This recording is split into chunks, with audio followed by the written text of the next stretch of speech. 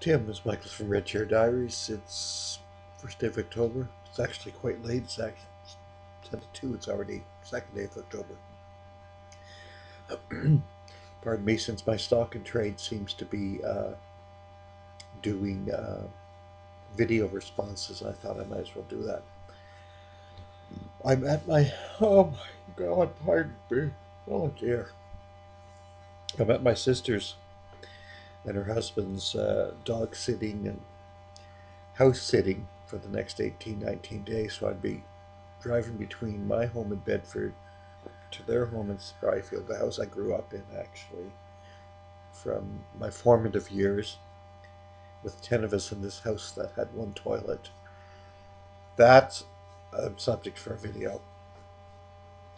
Anyway, um, it looks like I'm I've been kidnapped or something with this neutral background, doesn't it? Sort of thing. Kind of drabber than it is in real life. Anyway, um, here I am, and I want to thank you for that. Uh, uh, well, actually, um, gracious uh, mention of me in your uh, top 10 people you'd like to see get more subscribers.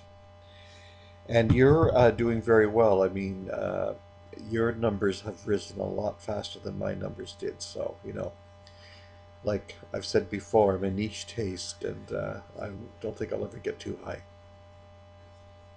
Anyway, uh, very, very good. Uh, what else was I going to say? Uh, yes, and you, you decided that you were you were not going to uh, say that I'm an older gay gentleman. You said just a, an, an older fellow or or whatever you however you characterize characterize carry?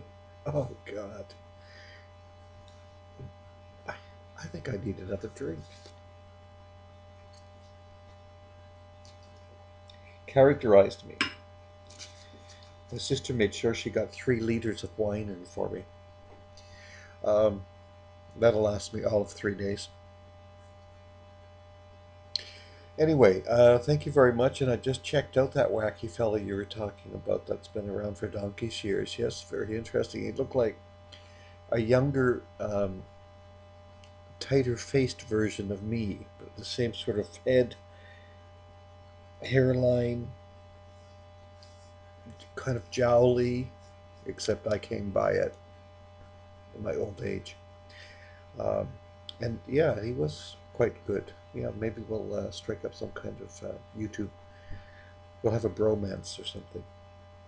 Anyway, thanks a lot for uh, for your advocacy and for um, yeah supporting me. I do appreciate that. Uh, like I said with that video I sent you that time, I I, I do like seeing uh, heterosexual couples, you know, in a, their natural habitat and acting like hap happily married uh, gay couples. It's, it's always encouraging to see.